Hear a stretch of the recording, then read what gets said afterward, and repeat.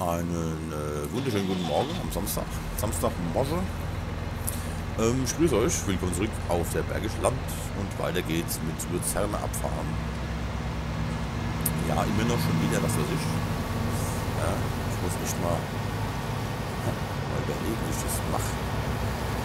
Weil solche Sachen hätte ich gerne komplett mit Autodrive bzw. CP abgefahren.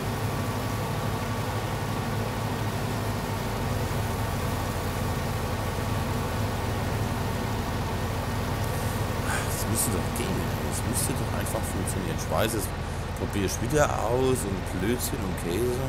Problem ist, ich weiß hier nirgendwo. Rotierende Behnentladung, Feldausfahrt, was weiß ich was. Ja. Ah. So. Ähm, ich weiß hier nirgendwo, wo ich den Drescher auswählen kann. Ne? Ich würde ja schon gerne den Drescher auswählen.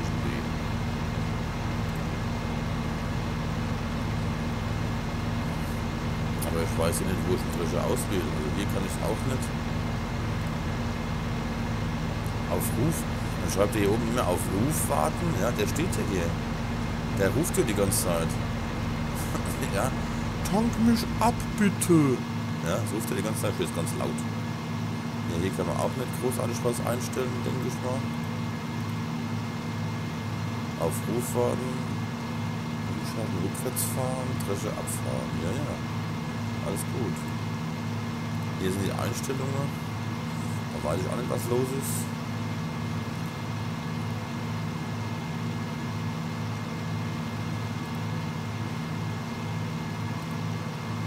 Ich habe keine Ahnung, Leute. Kann man da jemand helfen? Ich weiß es echt nicht. Ja. Ist alles aktiviert, hier bei Fahrzeugen. Abstand hoher 0,75, da ist es noch lang nicht. Abfahrer aus Feldbegrenzung muss ich nicht.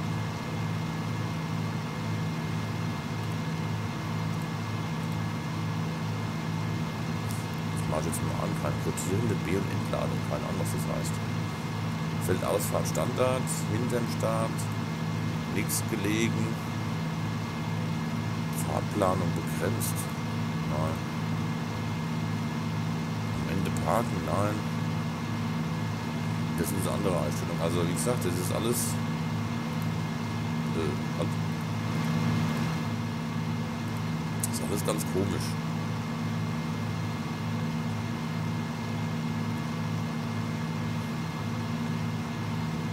I don't verstehe it.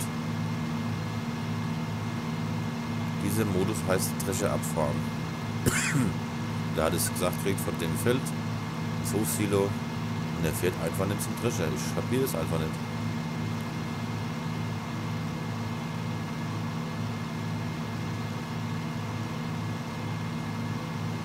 Fruchtumfahrung.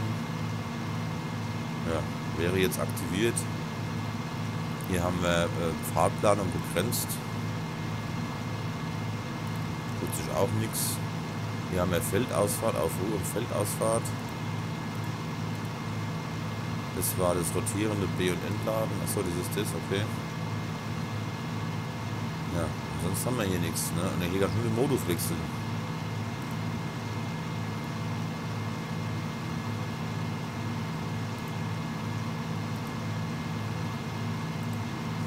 Ich weiß nicht, echt nicht, was das, äh, warum er das nicht macht.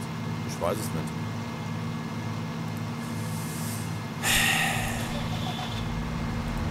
Ja, jetzt ist wieder mein Strohkragen wieder voll. Na, Wie gesagt, es ist Samstagmorgen für euch. Für mich ist es Freitagmorgen. Das heißt, falls mir jetzt jemand einen Tipp gibt für diese Folge hier, kann ich den Tipp äh, ja sehr wahrscheinlich erst am Sonntag Morgen oder Sonntagnachmittag anwenden. So, was ist jetzt los? Hier kommt was machst du?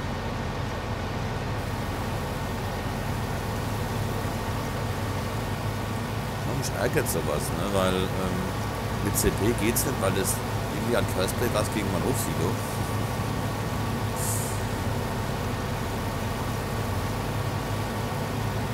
Weil Questplay fährt überall hin, nur von beiden Seiten vom Hofsilo sagt er, er steht dem Verkehr fest. Das ist sehr schade.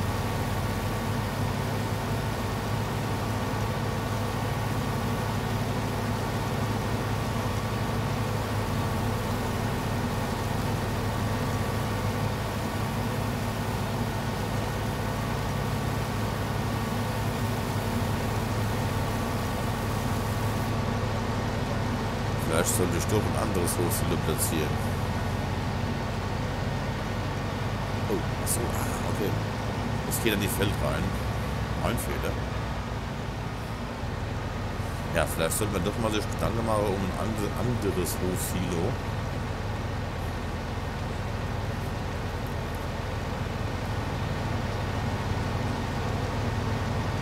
Ähm, schlicht und ergreifend einfach nur aus dem Grunde, dass hier mein CP-Fahrer das Hofsilo akzeptiert und das dann auch Bildfehlen ablädt.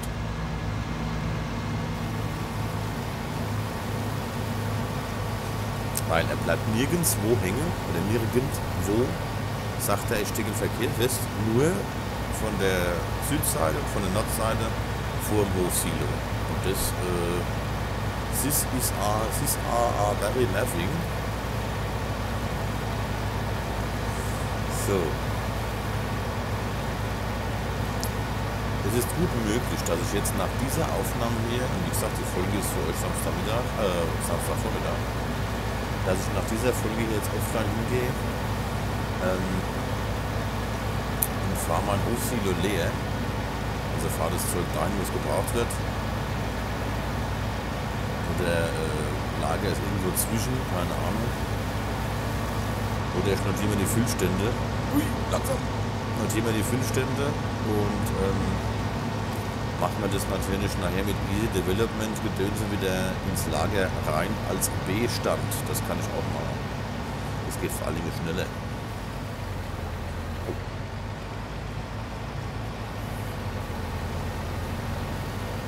Weil dann funktioniert auch der Strohabfahrer, dann funktioniert Abtanken von egal wo, wenn es dann tatsächlich am Hofsilo liegen sollte.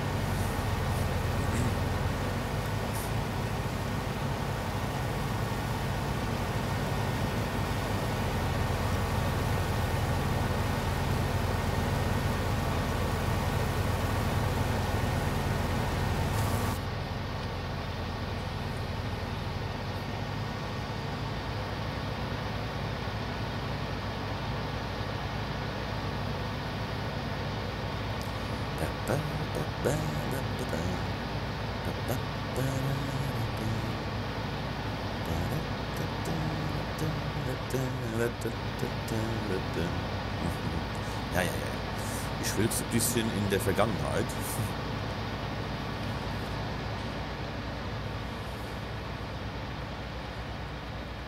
Ich habe meinem Urlaub jetzt mal einen wunderschönen Heinz Erhardt-Film reingezogen.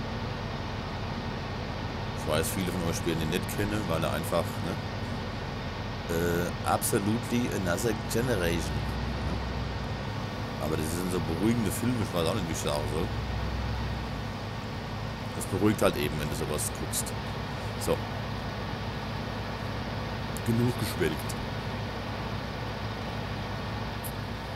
So, ah ja, das ist halt so, das zieht sich jetzt ein bisschen. Ich muss auch noch das äh, ganze Zeug dann festfahren, weil da muss ich mal gucken, das kann vielleicht äh, ein Helfer machen. Das ist mir zu selbst offline ist mir das zu äh, ja, nervig, da auf dem Berg hin und her zu fahren.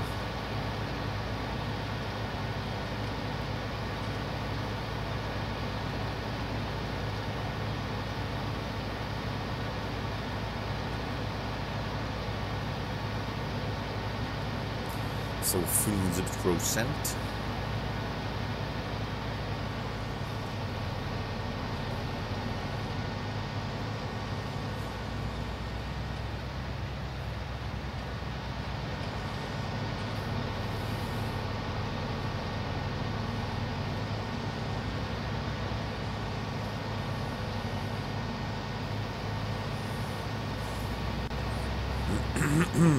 So, Tempomat. Weiter geht's.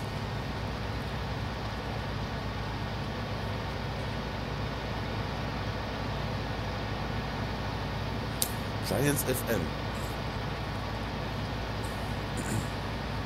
Ja, schade, dass man nicht, äh, ne? aber gut, dann wird das Video gesperrt oder gelöscht oder was weiß ich, gar nicht hochgeladen. Wenn man da jetzt irgendwie so Musik reinballert, ohne dass man die Rechte daran hat. Oder die Erlaubnis. Ich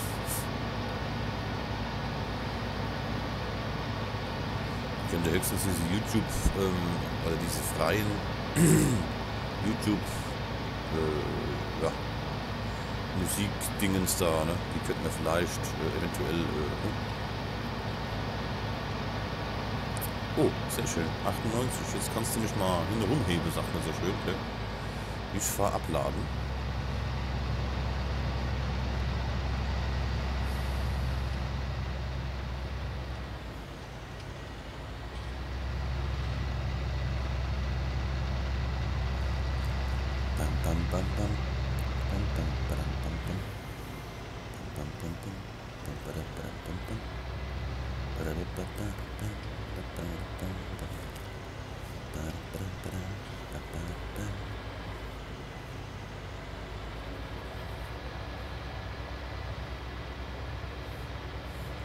Ach ja. Abends ist doch schon ziemlich entspannend hier, ne?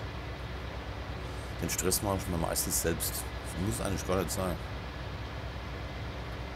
Wenn man es nicht fertig geht, macht man es halt am nächsten Mal fertig. Ist das wurscht. Hey, chill mal, Alter. So, da mir aber jetzt diese Anzeige ein bisschen auf die Nerven durchgeht, werden wir gerade mal schnell unseren Kollegen Varioe entladen und dann dementsprechend wieder ansetzen.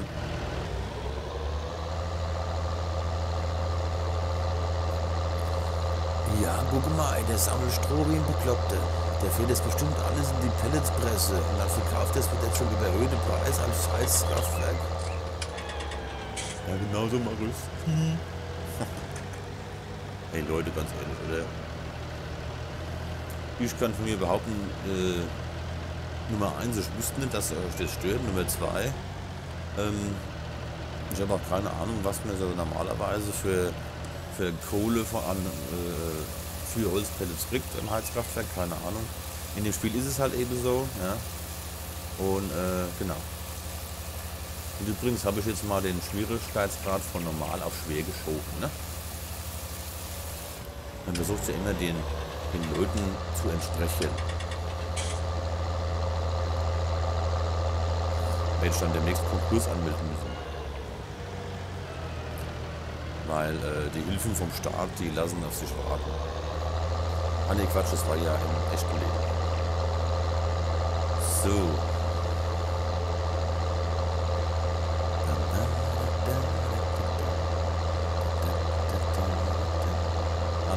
jetzt wohl an, er fährt jetzt einmal noch an Vogelwände und dann müsste er in die Feldreihen haben.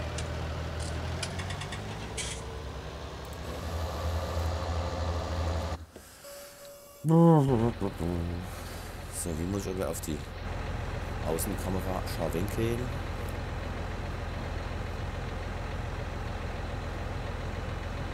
Ein wenig ist es mal definitiv nicht. Es gibt schon jetzt haben wir über 100.000 Liter. Ja, das reicht im Moment.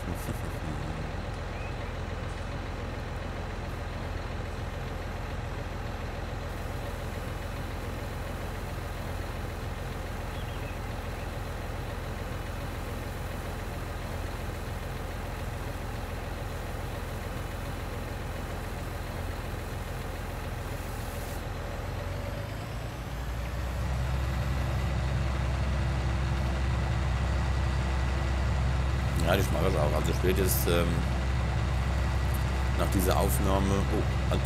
Ja, ich habe auf den Timer geschaut, hier deswegen. Äh, nach der Aufnahme werde ich mal meine Füllstände im Hofsilo notieren und dann äh, dementsprechend ein anderes platzieren, ja, was einfach nur ja, normales Silo hat.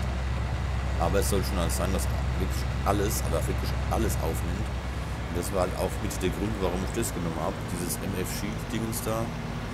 Weil da kannst du alles reinschmeißen. Ne?